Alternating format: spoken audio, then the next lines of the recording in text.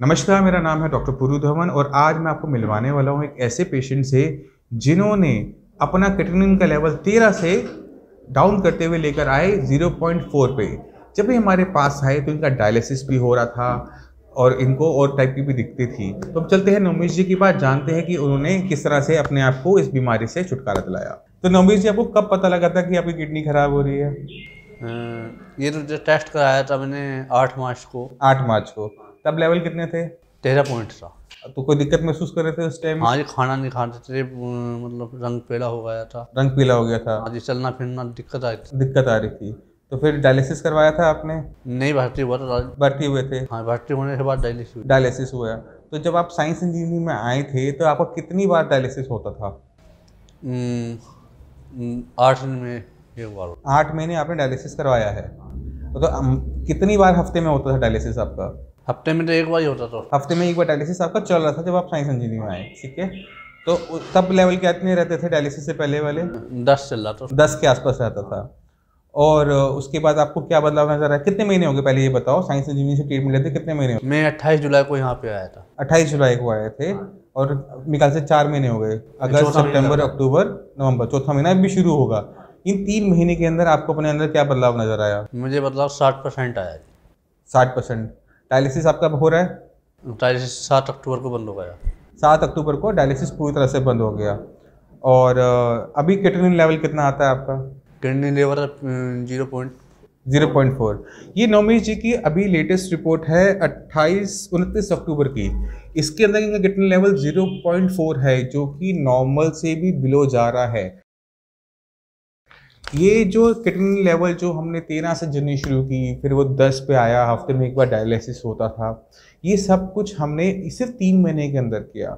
इनकी अगर हम अल्ट्रासाउंड रिपोर्ट देखें तो इनकी किडनी श्रिंक आती है, छोटी हो गई है, जिसकी वजह से इनकी किडनी की फंक्शनिंग डाउन हो गई थी।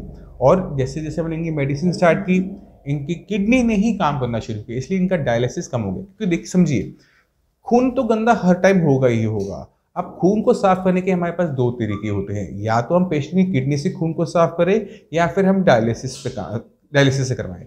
अगर हम डायलिसिस पे जाते हैं तो हम अपनी किडनी को छोड़ देते हैं। किडनी में कोई काम नहीं करती, किडनी को कोई मेडिसिन नहीं देते, जिसकी वजह से किडनी अगर हम काम नहीं करते तो पेशेंट को लाइफ टाइम डायलिसिस करवाना पड़ता है, क्योंकि किडनी काम नहीं कर रही मगर जो पेशेंट डायलिसिस के साथ साथ डायलिसिस के ऊपर किडनी को चूज़ करते हैं कि चलो किडनी पे कोशिश करते हैं किडनी थोड़ा सा काम करना शुरू करे तो हमें ऐसे नोमेश जी जैसे हमें रिज़ल्ट देखने को मिल जाते हैं, जहाँ पर किडनी पहले की तरह काम करना शुरू करती है अब इनकी सारी की सारी रिपोर्टें नॉर्मल है यूरिन के अंदर कोई प्रोटीन नहीं आ रहा, किसी टाइप की डायलिसिस की ज़रूरत नहीं हो रही, पिछले मेरे ख्याल से एक महीने, दो महीने हो गए डायलिसिस आप हाँ जी।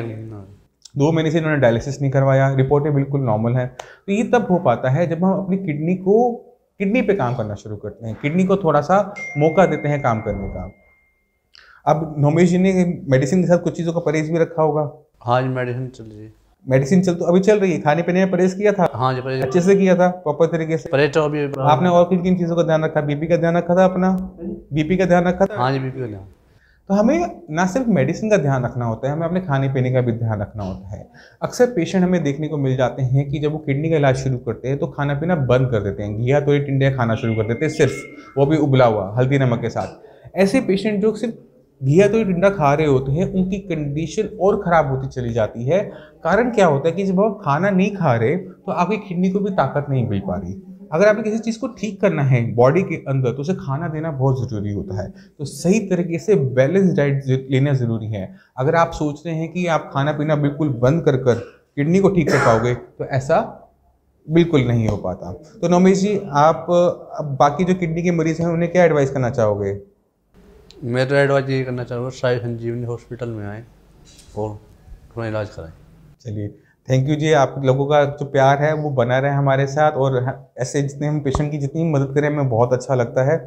और मैं उम्मीद करता हूँ कि जो थोड़ा बहुत हमारा प्रोटीन यूरिन में आ रहा है, वो आने वाले कुछ एक टाइम में बंद हो जाए और आपको हर टाइप की दवाइयों से, इलाज से छुटकारा हो